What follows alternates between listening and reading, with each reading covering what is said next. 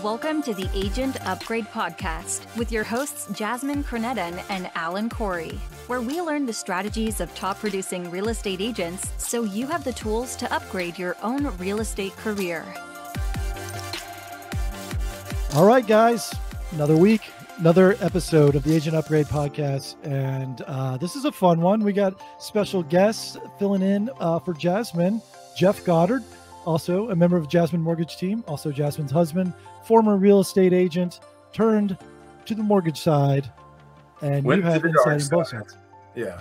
I was about to say it, call it the dark side, and then I'm like, it's not the dark side. They're a necessary partner to every real estate. Like you need, yeah, it, it's not evil. It, it, it's it's good, and uh, you know, I, I bill um, mortgage lenders as people who um, like if they approve your loan, like they're they're the stodgiest, most conservative partner you can have in any purchase in any sort of investment. And if they're like, yeah, you can afford the loan, uh, and we'll give you the money for it, and we'll give it to you for cheap, then then you know yeah. that you should buy the house not always that case. Obviously, the laws changed after 2008, 2009, so that you mm-hmm. guys are a little bit more stricter, and not everyone can just get a loan for having an impulse. So I, I think we're in a good place with mortgage lenders. Um, not yeah, necessary. So too. It's yeah. amazing what a decade of actual good underwriting does for the housing market.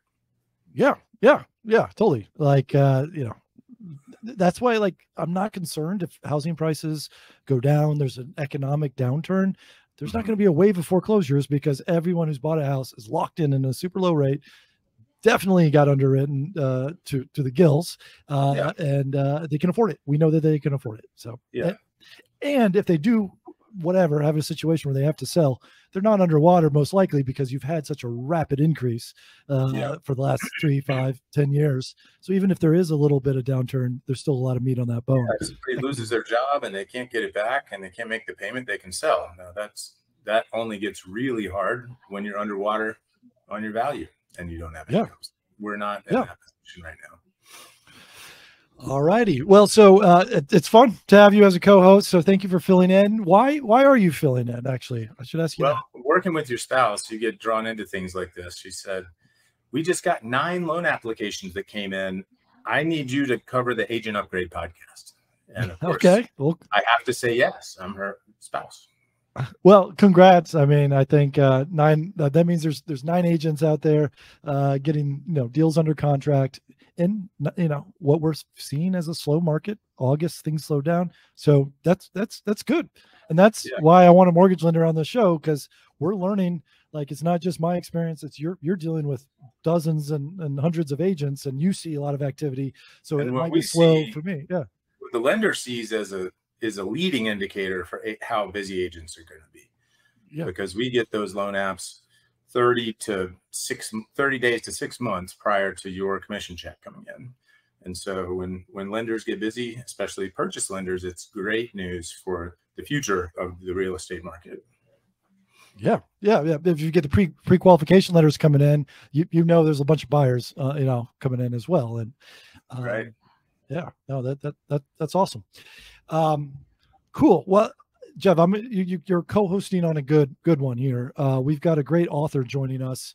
Um, I don't know how familiar you are with Paul Ross, but uh, he, he wrote the book, the, one, one a, a very entertaining sales book, "Subtle Words That Sell." Sell how to get your prospects to convince themselves to buy and add top dollars to your bottom line. Um, you know, selling's a big part of our game, both of our games, right? Yeah, it really is. I, and and I, I I believe that selling to the subconscious mind, like there's something there for sure. Like like that that's a if you can do that, if you can pierce the subconscious and you get them sold in the subconscious, well, I would imagine getting them uh you know to say yes they're conscious to say yes is is a easier win. Not that we're ever pressuring people to buy homes, but a lot of times people just have that fear of commitment, analysis paralysis, first timer freeze, whatever you want to call it, where um, you know they're making a big decision, and uh, if you can kind of do the sales pitch, um, or or maybe you're selling yourself as a real estate agent. You're not just selling the house, but you're selling yourself as a real estate agent, um, and or you know trying to sell to other agents to you know return your calls or negotiate with you if there's multiple bidding sort of situation. So um, I'm I'm happy to to kind of dig in here and and learn how to basically hypnotize you each other. Yeah, I, I can't wait to hear what Paul has to say. All right, let's bring him in to the Agent Upgrade Studio. Paul Ross, thanks for joining us. Well, good morning, good evening, good afternoon, wherever you may be, from coast to coast, shore to shore, and all the ships at sea. It is I, Paul Ross, master of subconscious selling, hypnotist, author, entrepreneur, online marketer, healer, and all around great guy and cat lover. Great to be here on the show. And we're going to be dropping bombs of wisdom like it was Vietnam. Well, so I've got, I've got, I've got ailments I need your help with with the healing, the healing part. Oh well, that I that's a totally separate issue. But yeah, I'm trained in doing doing NLP, neuro linguistic programming. As a matter of fact, we interviewed the creator of NLP on my podcast, The Influencer's Edge. Just dropped a little plug for my podcast.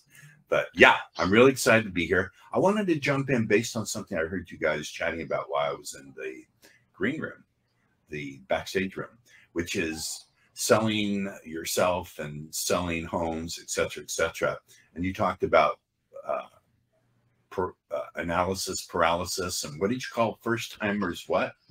I call it first timers freeze. Uh, you like uh, you just there's just frozen, yeah. and you know yeah. you got different people in the so ears and, and, everything. It brings up the first bit of sort of mic dropping I'm going to be doing today. I'm going to be doing a lot of it, which is you're never selling real estate, you're never selling mortgage loans.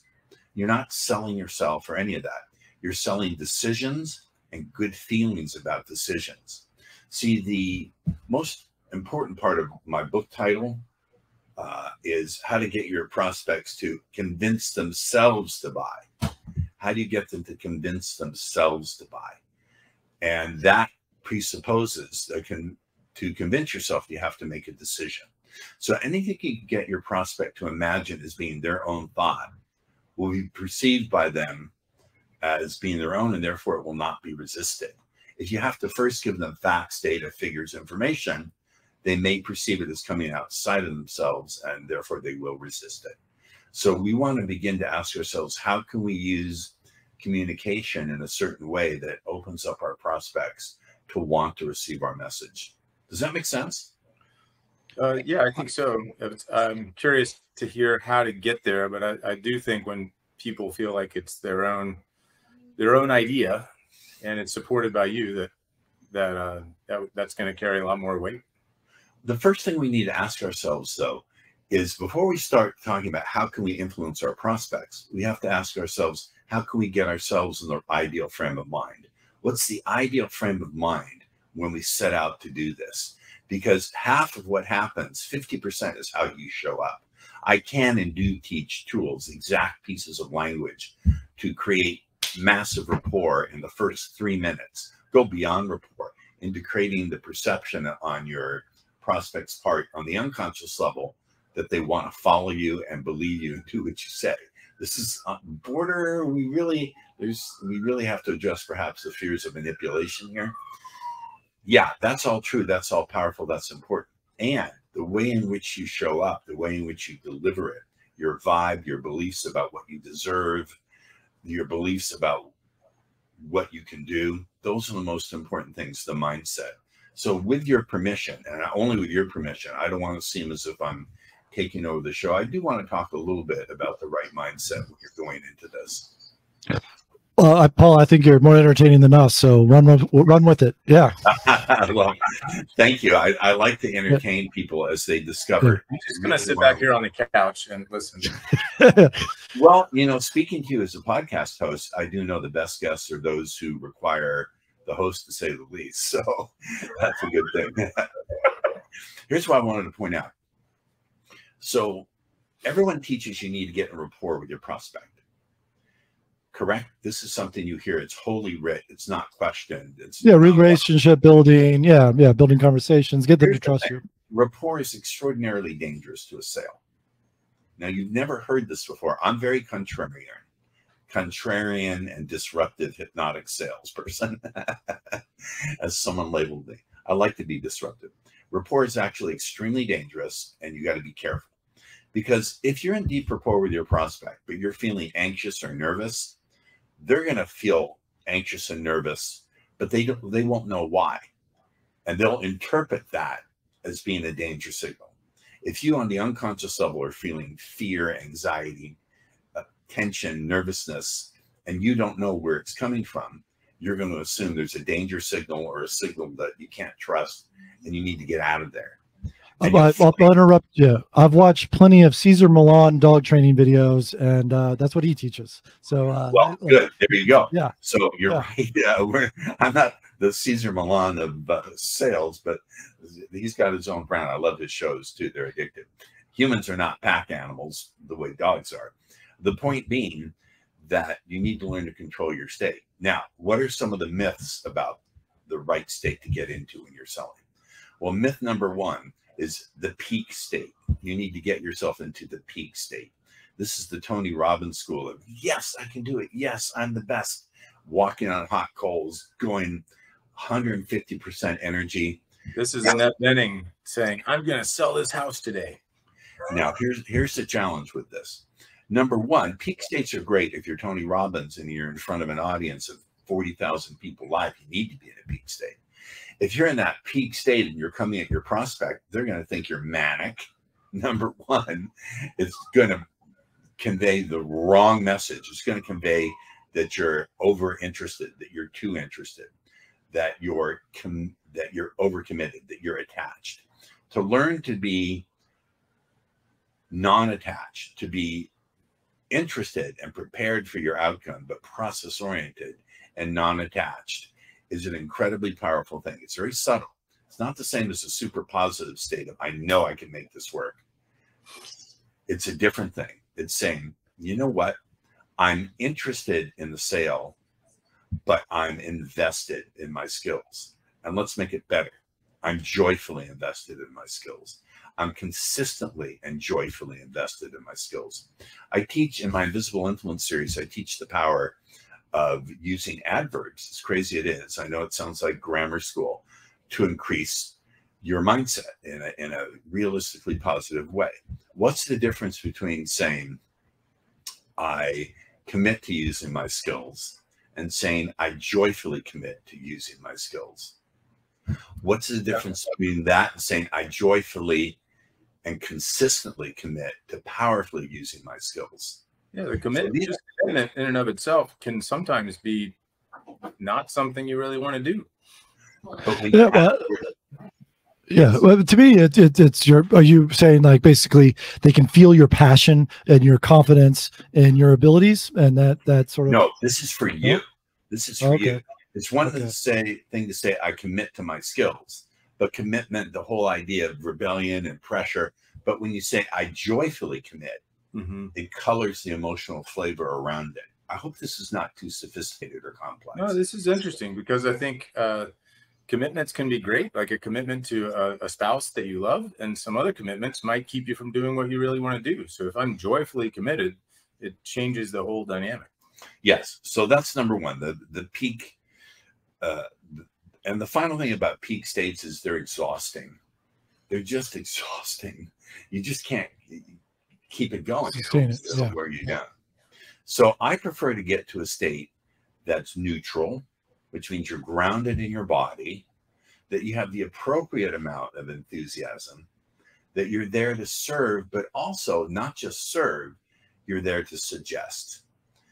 Service times suggestion equals leadership. And for me, sales, whatever you're selling, is primarily about leadership. You've got to lead your prospect into a state of mind where they're really, really eager to believe you and where they can trust themselves. So let me unpack that. The real question you need to ask, having the recognition that you're never selling real estate or loans, you're always selling decisions and good feelings about decisions. You're a decision service technician. If you want to think about it that way, if you will, you're not even a salesperson in that sense. You're a decision service technician. You're there in service people say sales is about service. Well, in service of what? I say you're a decision service technician. You're assisting people in making good decisions. Here is the big problem, the big challenge. We've all heard, and correct me if I'm wrong, but this is another thing that's never challenged. Everyone always says it.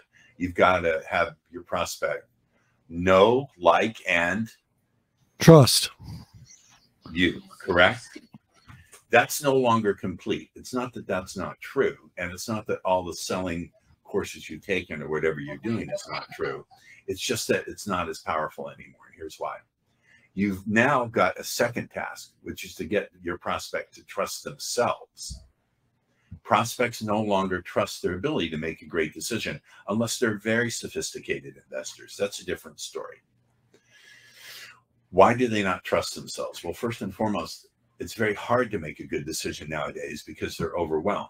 They're overwhelmed and overloaded and distracted. For those who are listening, you can't see it.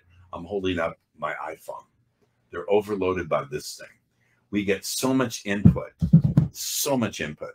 We have instant messenger, we have texting, God, TikTok, Instagram, Tinder. Not that I know anything about Tinder. Look how handsome I am. I don't need it.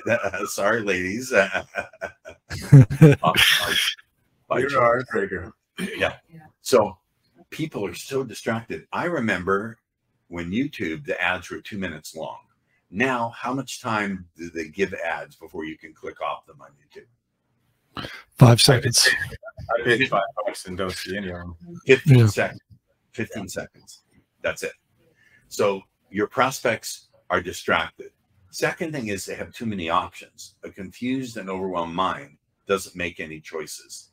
They have too many options. They're getting too many calls, too many cold calls, too many outreaches. Everyone's saying the same thing to them. Too many choices. Have you ever heard the objection? Uh, we have a few more agents we need to talk to or interview. Have you ever heard that? Oh, of course. Yeah. Yeah. what are they really expressing? They're expressing they're confused and, and they're overwhelmed and, and they don't know how to make a good decision because they're overwhelmed with too many options. They don't know how to make a decision to choose you. By the exactly. By the way, can I drop a free uh, gold nugget and tell you how to destroy that objection? Go ahead. Let's hear it. All right. What would it be worth it to you in terms of your income if you could destroy that objection every time and get them to sign you up as their listing agent uh, right away? Oh, yeah. That would boost it 10, 15%. All right, here we go. This is just proof that my stuff works because I'm so off the wall. Can I swear on your show? Oh, yeah. Oh, uh, it's encouraged. Uh, I'm so batshit crazy. I've been told, Paul, your stuff is batshit crazy. No one's going to believe it. So I give away free stuff because I believe your best evidence, your the best evidence that my stuff works is your own results. So go out and try this. So when they say, let's role play, say I got to interview a few more agents.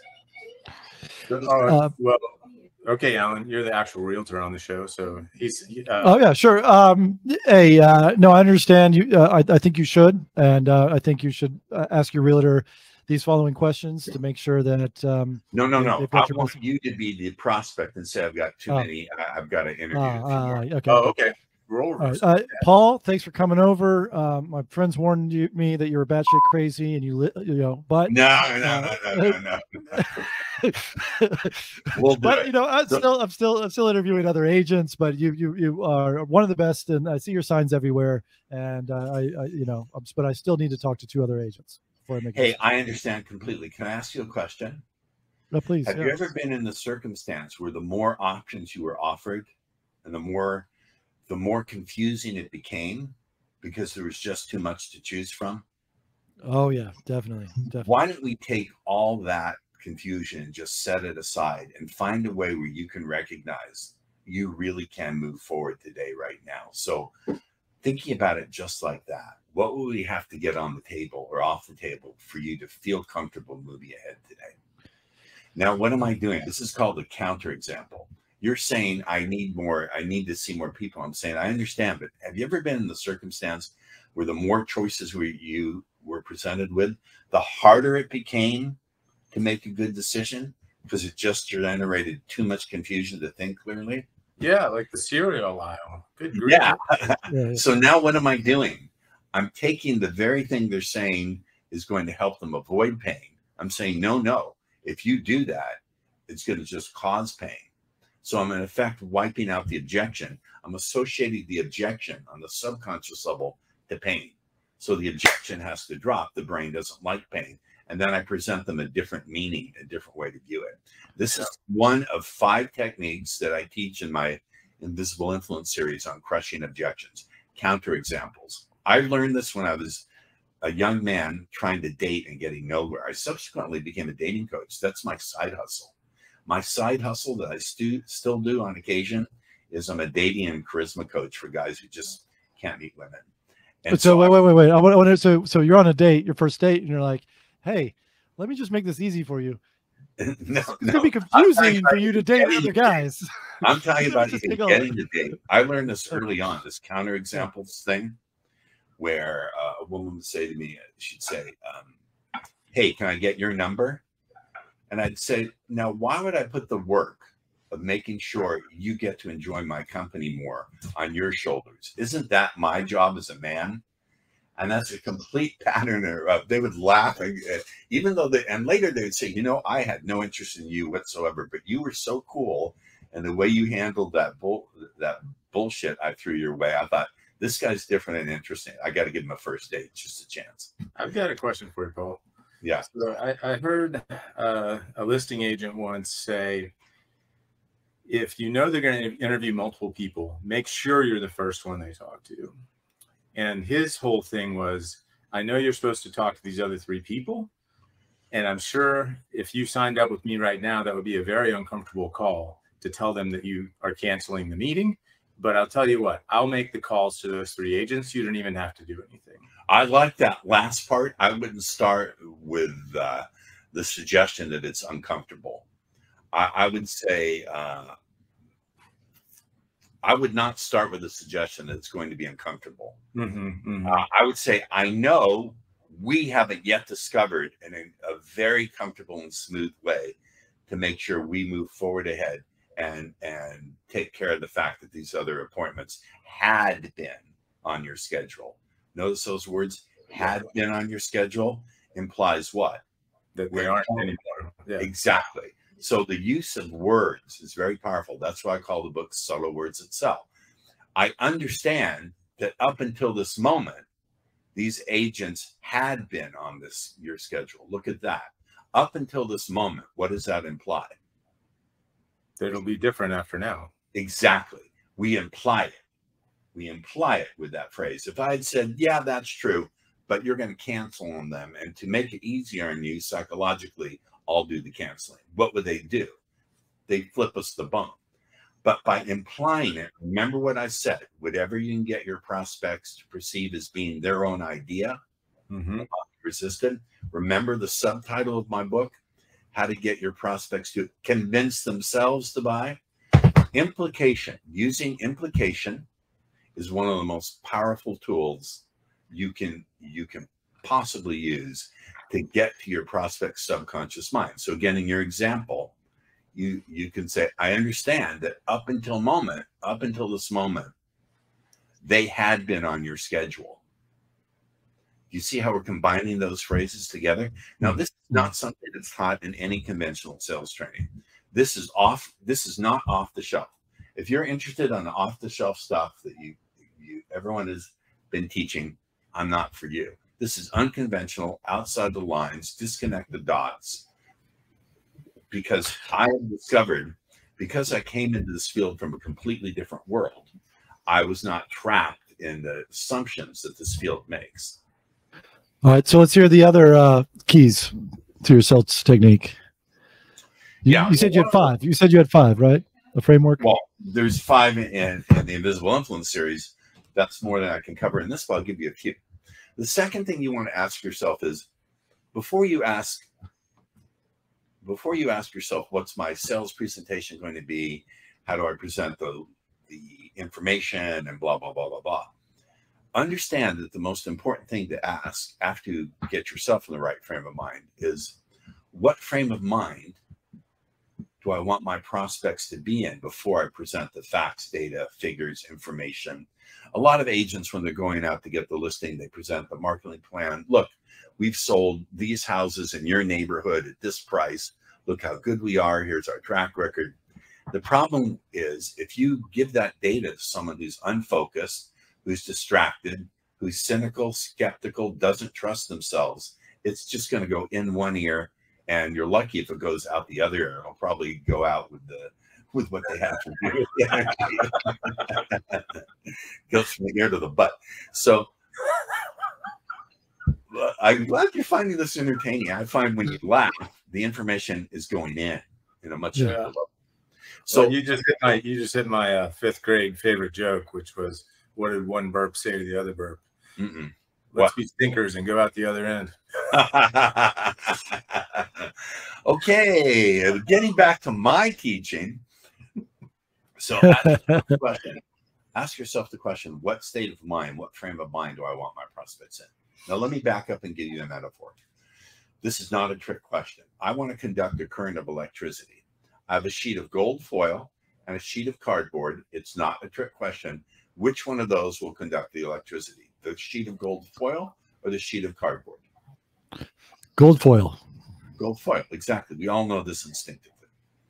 So, do we want our prospects in the cardboard states of being distracted, unfocused, overwhelmed, not believing you and not trusting themselves? No. No.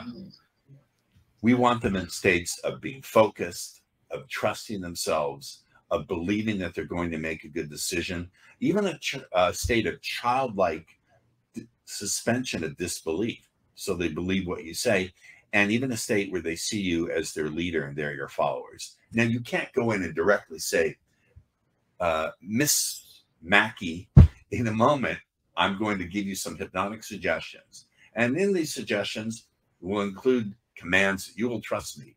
You will be like a child looking up to a, a trusted leader. On the count of three, one, two, three. Doesn't work like that. No. But you can do it with the following bit of language. Here it goes. So, and it's going to use what I call implied relationship words. Implied relationship words are words that suggest imply, but don't directly state that you already have a relationship of trust and leadership, etc. So I would say before we explore our marketing plan together. Now let's look at those words. Before we, what does we imply? That we're They've already hired you. Right. Not before I show you. Yeah. Before we explore. Explore is what I call a valuable activity verb. I know I'm dumping a lot here, but we go into detail in the Invisible Influence series so you can see it at your own pace and go out and try it bit by bit. Before we explore, what is explore? And for every exploration, there must be a leader. And therefore, for every leader, there must be a what? Follower. Follower, exactly. So right there, that word explore is implying that you're their leader without saying it. Before we explore our, not my or the, our, what does that imply? Our marketing plan. It's going to have input from them. Right. It's a team effort. Right. It's a team effort. Before we explore our marketing plan together, what is together? Together and get indeed, that's something you're doing as a team. Before we explore our marketing plan together today, I just want to invite. Invite is another implied relationship word. When you're extending an invitation to someone, do you invite someone to something valuable if there's not some exchange going on, an exchange of value?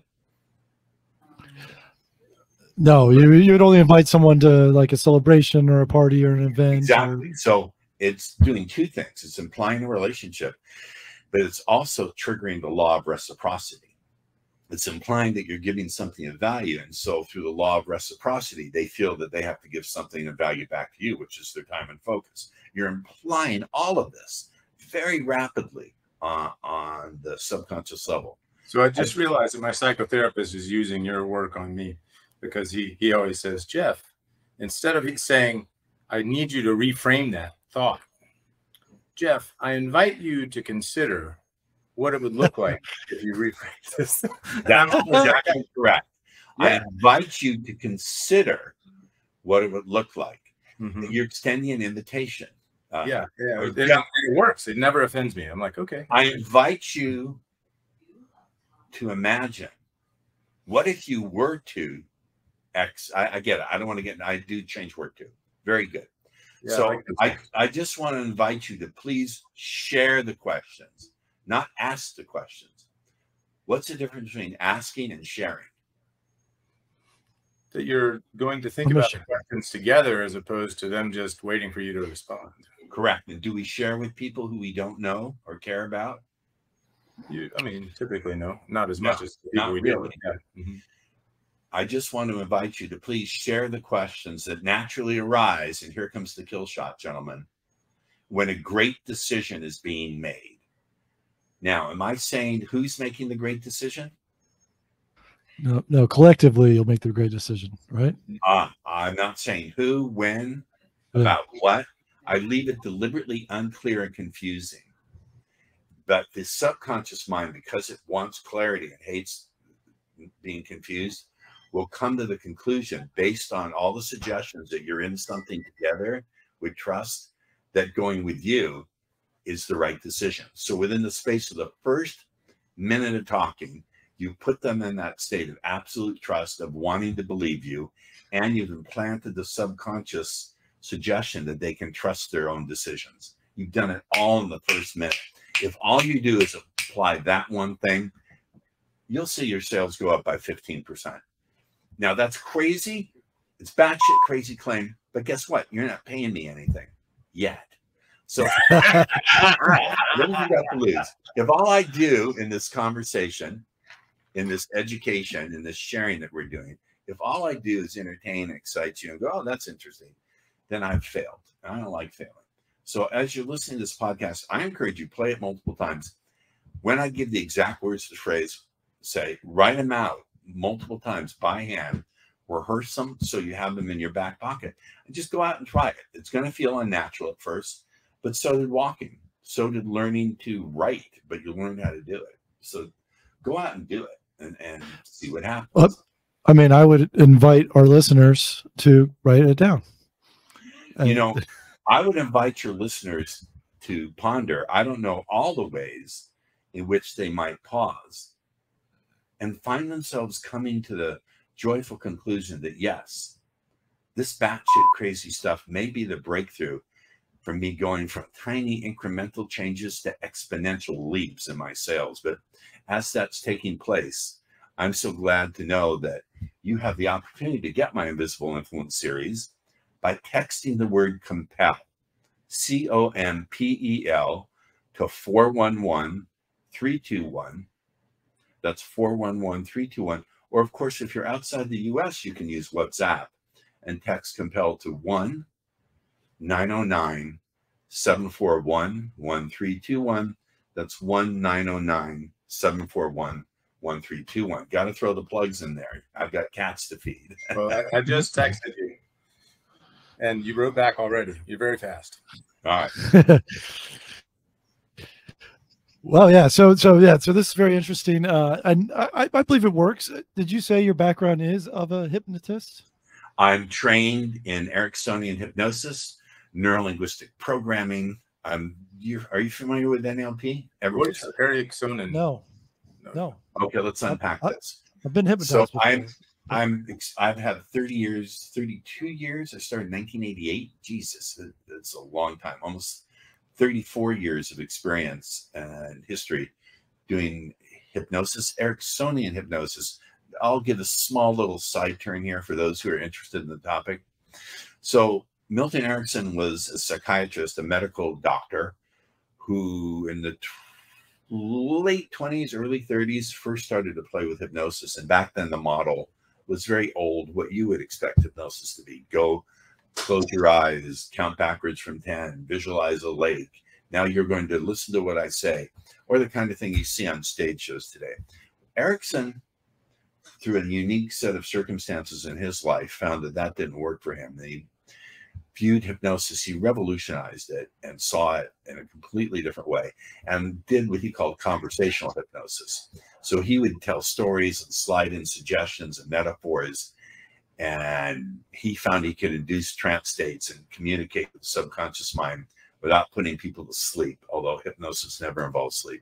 He, in my opinion, and the opinion of many, was to hypnosis what Einstein was to physics, or Mozart or Beethoven was to music. He's very brilliant guy. He died in 1980.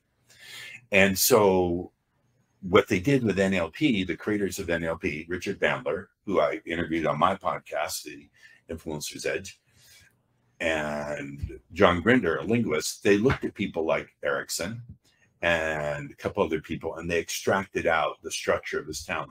What was he doing with his semantics, his linguistics, how he used his voice, his movement, his stories, and they codified it and began to use it to duplicate his results. And they began teaching it through what they call neurolinguistic programming. So I'm highly trained and highly experienced in both. But what really moved me into doing this is again, being a dating and charisma, and I'll have to say a pickup coach for lonely guys. I thought, hmm, how can I apply NLP and hypnosis to my own problems? And I got over my own shyness, my own shame. I thought I can make a career, make some good money out of that. And subsequently, my students would come back to me and say, Thank you very much. Here's a picture of my wife and my kids. By the way, I've been using your stuff in my sales career, and I've my sales are up 300%. So I would call these guys up and go, How the hell are you doing that? And they would explain it to me. I thought, You dumb shit. Of course, this is applicable for sales. You've been doing it in your own online marketing codify it for salespeople. So I really leapt into it. I thought, who do I want to do this for? I thought my parents were real realtors. They didn't, they did okay, but they were more interested in being liked than they were in selling, which I'm sure a lot of agents go through. I thought, first of all, let's do it for the sales world in general. And then let's specialize for real estate agents. And I also like mortgage loan officers are an intricate part of that. So I've worked with people from Loan Depot you know, Loan Depot, mm-hmm. bless Loan Depot, but these particular people wanted additions to their training. And, and, so that's how I came to specialize at it. But hey, if you have a paycheck and you want me to teach you how to do high ticket sales for your coaching program, uh, you can apply to work with me. Have a paycheck, have a credit card, I will work. so, uh, like outside of sales, like uh, I feel like uh, these techniques, one, obviously, sort of your phrasing, um, and and your, you know, you can kind of walk people down a path uh, for, to make it easier to say yes, and like you said, convince themselves to um, to to choose you. Um, how about like, is there some similar mental techniques that, like, say, an agent can do in their own head that's maybe preventing them from doing the things that they need to be doing, like sending out sure. marketing emails, calling people, yeah. like what self motivation. Absolutely, yeah, absolutely. So language is powerful. Language structures consciousness, shapes decisions, drives behavior. And the metaphors you use to yourself, the stories you tell yourself, can control all you think and how you behave. Let's take one example. And my coach, when she watches this, is going to murderlize me. I'll murderlize you. Because she said, you know what, Paul, you give away so much value. Why would people want to get more? They feel, oh, I, that was nice. That was interesting. So don't give away too much, but I'm compelled to do it. Uh, see that word I snuck in compel as I sit here and I recognize that when I am never. Well, I, I I, I think you're playing us, or not playing us, but I feel like you're using it on us by by by reminding us that you're providing value. Is that a well? No, actually, I'm doing. I'm telling you the truth. I should not. I should not. It is away, no, but I'm going to do. Well, well no. Well, I would say the opposite. Like if you were a cookie shop, you would you would stand out front and give away your best cookie to get people inside. You would never give away your third best cookie. Well, I'm going to give away a best cookie. Here it goes. Okay. Here's, okay. Here's one of the things everyone hates doing cold calls, correct? No one really likes cold calls. But that very metaphor itself implies a couple of things. First of all, is it really cold? Is the phone really 10 degrees Fahrenheit when you pick it up? No. Is there really a layer of ice, a barrier, a block of ice, an iceberg between you and the prospect? Is the prospect really shivering in a refrigerator or a freezer? No. It's a bad metaphor. I'm going to give it to you instead of cold calls. And what's the other thing that's implied in a cold call? When you make a cold call, what's the implication about who's holding the value? Are you holding the value are you trying to get the value from the prospect? Yeah, you're trying to get the money from them. Exactly. Yeah. So it makes you feel sort of like on some level, no matter how you try to say to yourself, I'm going to do it. I love doing cold calling. That metaphor stops you. So here's a better switch. Here's a semantic switch. Technically, it's not semantics, but be that as it may. Here it is. How about if instead you thought of it as opportunity outreaches? How many opportunity outreaches can I extend today? How many opportunities, outreaches can I joyously offer up today? Yeah. Now that's completely different. I feel through it. Let's stop talking for a minute. Yeah, I think I like that. So I, the one I came up with was, was thinking about them as warm introductions. Uh, but you said opportunity outreaches. Yes, because when you are giving someone an opportunity, that now implies that you have the value. When you offer someone a gift and they refuse to take it, you're not the one who's being rejected. They're just not in a place where they are able to receive the gift. And if you're coming from a place where you understand you have skills that other people don't, skills to lead people to trusting their own decisions, skills to get people to expand their mind, to include decisions they never knew they deserved to make. Think about this. If it's true, and I believe it is true, that your prospects come to you with all sorts of limiting beliefs about what they deserve, what they can have, etc., etc., what they can afford, when you expand their consciousness, expand their mind to include new ways of looking at those things, yes, there's two tracks you have to follow with sales, dual tracks. One, you're getting your ideas into their mind using this slick language. On the other hand, you're expanding their mind to include new ideas. So you're expanding their mind. The idea of sales being about expanding consciousness and creating states of consciousness in your prospects is batshit crazy, off the wall. And I think I'm going to claim it. No one's ever thought of it that way before. But it's a very new, powerful paradigm to think. So, getting back to this point of opportunity outreach, when you talk to yourself and say, This is an opportunity outreach, how many opportunity outreaches can I joyously extend today or offer? Now, all of a sudden, in the back of your mind and the deep subconscious, you're saying, I'm offering value. I'm not going to get rejected. The worst that's going to happen is there's beautiful value that's left on the table for someone else to grab. It eliminates the fear of rejection, eliminates the resistance to doing it, and actually, it makes it something that you can get some pleasure from each time you pick up the phone and put it down. So, Paul, you, you said that the, the two tracks to follow the first one was getting ideas into people's minds with slick language. The other one was what? Expanding their consciousness to include your ideas. Yeah. When you can take someone who has limiting beliefs about what they deserve, who has confusion around making great decisions, and expand their mind to include those decisions and to have states of clarity, you're doing something heroic. You're changing their narrow little view of the world. Like they're looking, if you've ever been to use a metaphor, and I teach the metaphors in a hotel, and you look through that little fisheye lens and you see that narrow view of the corridor, you're turning them around and showing them the panoramic view out the balcony of what they can experience. You're expanding their consciousness. You're giving them choices and showing them choices they never knew they could have which to me is a heroic, even healing thing to do. So the idea of you being a hero doing sales is probably too much to handle. But in a sense, at very least, sales, I think, in some way for the prospect can be a a life enhancing experience. It really can if you do it the right way. So a lot of our agents are um, using social media as a, an outreach, as a way to kind of um, you know con- soft contact uh, folks, uh, or at least make a name or a brand for themselves.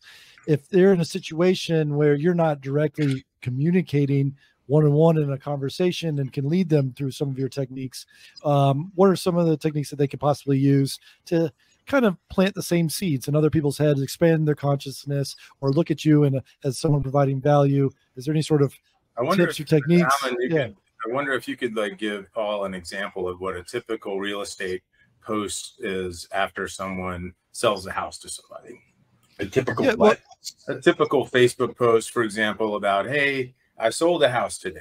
You're like, how could like what would you think would be what do you see mostly agents posting? And then how could we Paul Rossify it? Ha. That's a good question. That's never been presented to me before. But I would, what I would do is, is before you say I sold the house, I would say something like, look at what these lucky buyers are enjoying thanks to our work together. Or something along those lines. Look at what these lucky our lucky buyers are enjoying thanks to my work with the sellers. Uh, blah blah blah blah blah. Mm-hmm. Here's the price. Blah blah blah blah blah. Don't make it about you. I sold this house. No one cares. That's bragging. Don't make it about you. Make it about about something that some other people are enjoying. Mm-hmm. Well, that's interesting. Uh, how about someone sharing value like, hey guys, the the market's up 10% and you know, now's the time to buy a house. I'm your I'm your you know, reach out to me if you're looking to buy in Atlanta. Ah, that let's put some hypnotic language into it. Yeah, yeah. Isn't it exciting to recognize? Isn't it or how exciting is it to recognize that the market is up by 15%? Okay. And how exciting is it to recognize that the market is up by 15%? And there's no better time than now to sell your home. Thinking about it like that, reach out to me at. Okay. Do you understand? So, mm-hmm. so, so you're you're you're you're just you're giving them emotions. Like, is this is an yes. exciting emotion? How, no, notice what I said. Is it exciting? I, I didn't say that. I said how exciting which implies it's exciting. Yeah. How exciting is it to recognize, recognize, realize, become aware, imagine, are what we call presuppositions of awareness. It presupposes that it's true. Is it how exciting is it to recognize that the market is up 15% and there's no better time than now to find yourself selling your home? What are the, those two words? Find yourself find and what yourself. are called trance phrases. Yeah. What does it mean to find yourself doing something? Let me ask you guys, Jeff. I mean, if, it, if I find myself doing something, it, it's uh, authentic to who I am. Yeah, and it implies that it just happened. That or, or that I learned something about myself too. And it implies correct, and it implies that it just happened you didn't have to struggle doing it. It wasn't even a conscious choice. Have you ever did you ever just find yourself inside your refrigerator looking around and you don't even remember walking a conscious decision to walk over there? Yeah, I guess I was kind of looking at a different uh because people talk about finding themselves. Like, how do I find myself? Like, how do I understand? I mean it in a different way. Did you? Yeah, I know. Yeah, that's it. But I think it could be taken both ways as well. I never thought of that. Thank you. You educated me today. Have you? Did you ever just find yourself falling in love? Yeah. Did you ever just find yourself falling out of love and thinking, what the hell was I thinking? So find yourself implies a subconscious, out of conscious awareness or control process that's just going to happen. These little tips, language is powerful.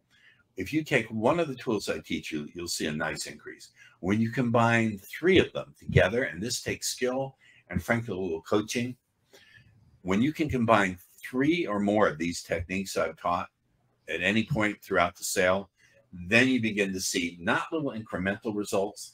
People settle for too little. They think, how can I improve my sales 5%? That's an incremental increase. If you stick with the sales systems that you know and what you're doing, you'll see incremental increases, but it's the law of diminishing return and your mm-hmm. willpower gets exhausted.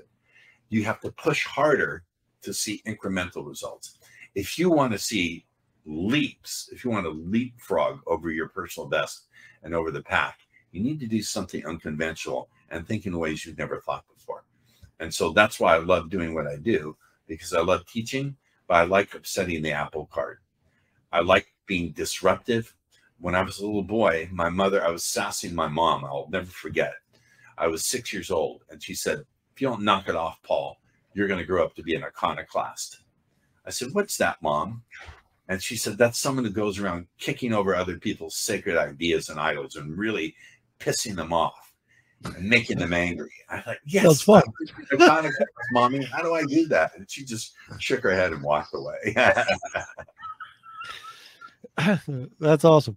All right, all right Paul. Uh, what's something that we should have asked you that we haven't asked you yet that uh, to kind of bring it on home here? How can you fall in love with this? How can you fall in love with the power? Of see, I have an ulterior motive. Yes, I like being of service. I like to make money, and I love to communicate, and I love to teach. There's a great book called uh, "The One Thing" by yes. Gary Keller. Keller. It's not Keller Williams. Great book. He talks about what is your one thing. My one thing is teaching and speaking and healing and creating things to get people to radically transform how they walk through the world, the world of sales, the world of personal transformation. And my ulterior motive is I want people to fall in love with what I'm in love with, madly and passionately in love with language and its ability to shape our consciousness and therefore shape our world. So I would just say the question I would have people ask is how can I learn? How can I joyously learn each and every day a little bit more about the power of language to transform my ability to walk through the world in a more powerful way and to fall in love with it? Fall in love with the process. And you fall in love with the process by allowing yourself to pause, take a breath, and get a little bit of that childhood sense of wonder that something new and amazing has begun. An amazing new journey is begun. And together, as we walk that, I hope at least a few of the people listening will choose to walk that path with me. That we'll continue to enjoy ourselves. And it's been my honor to present today. If I, I'll plug one more time, if you'll allow it. well, well, I was going to say um, before you go, like your book. So obviously, if someone wants to fall in love with language, like um, buy your book, Subtle uh, Ways to Sell. Subtle uh, words that sell. Sorry, subtle, subtle words that sell. A big difference. Um, but where do you learn? Like, like to me, it's what what's the next? Like, do I learn? Do I follow hypnotists? Do I follow science? Do I learn? Like, yeah, yeah. Where do you learn this? Oh, this well, okay. This is a great question. In my life, I've been lucky in a few different ways. I was lucky to have amazing parents. All of my, I like to say that all of my good aspects of who I am came from them. All of my vices are my own. They encouraged me to be an independent thinker, to be an iconoclast, to piss people off and be disrupted with my thinking, not with my actions. So that's happened too in my life. I would say, find, listen, I am so lucky to have the best teachers my and coaches and trainers. I have four different coaches for my business. And I've had great teachers. I learned with Richard Bandler, the co-creator of NLP, an amazing teacher uh, a world class teacher. If all I had was him, I'd be the luckiest human in the world. Then I found my meditation teacher, Shinzen Young, who changed the very nature of how I experienced being human and being walking through the world. I found my marketing teacher, the guy who taught me how to write copy. For my VI, VIP extra, extra double diamond clients, I would rewrite your sales copy for you. I'll put hypnotic languaging into your videos and your ads. Uh, that's like double VIP diamond. And Gary taught me years ago, like 1988, when I first got into the business of selling things online. And online wasn't even around back then. We had to advertise in magazines. Gary taught me no one has time to try to figure out your pathetic subtlety when it comes to the marketing. but so I had a great teacher there. I would say find the best teachers you can. Find the very best teachers you can. I, have been incredibly lucky in, in having a great team as well.